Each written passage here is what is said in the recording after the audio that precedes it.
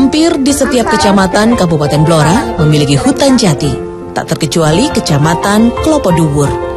Di pinggiran hutan jati daerah Klopo Duwur Blora masih dihuni oleh suku Samin.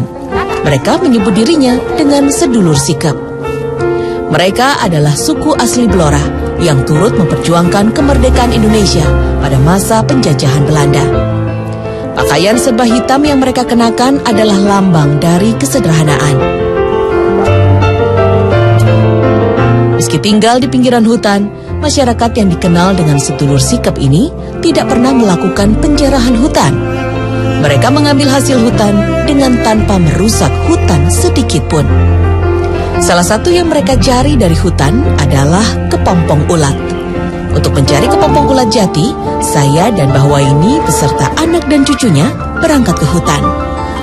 Ungker atau entung adalah hasil metamorfosa dari ulat yang memakan daun jati.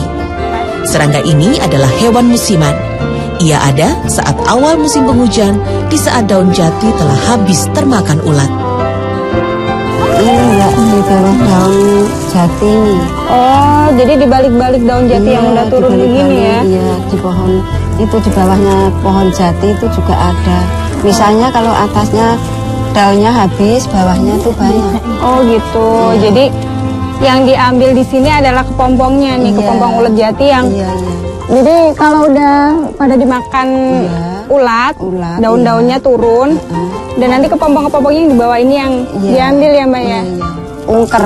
Oh ungker. Iya, orang kalau sini orang sini namanya iya ungker. ungker. Nih lihat nih, Iya. dia masih hidup, Iya masih hidup. gerak-gerak. Satu persatu kepompong ulat jati ini kami kumpulkan.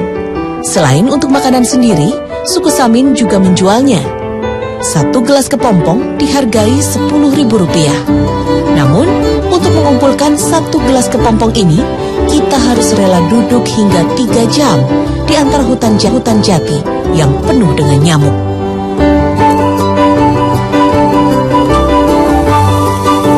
Sesampainya di rumah, Waini mengolah ungker ini untuk lauk pauk keluarganya hari ini.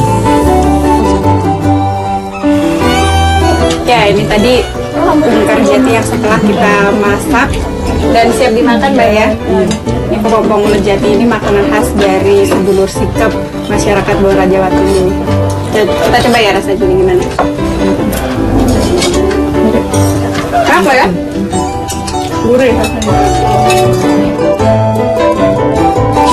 Antara hutan yang menghasilkan miliaran rupiah bukan berarti membuat masyarakat Blora terbebas dari kemiskinan.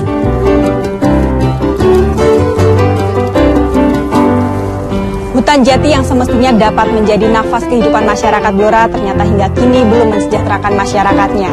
Dari kekayaan alam yang melimpah tersebut, masyarakat hanya dapat mengambil hasil hutan yang tak bernilai. Sistem pembagian hasil hutan yang dijanjikan pemerintah kepada masyarakat hingga kini masih menjadi isapan jempol bagi sebagian warganya. Pemirsa, demikian perjalanan Indonesiaku kali ini. Sampai jumpa.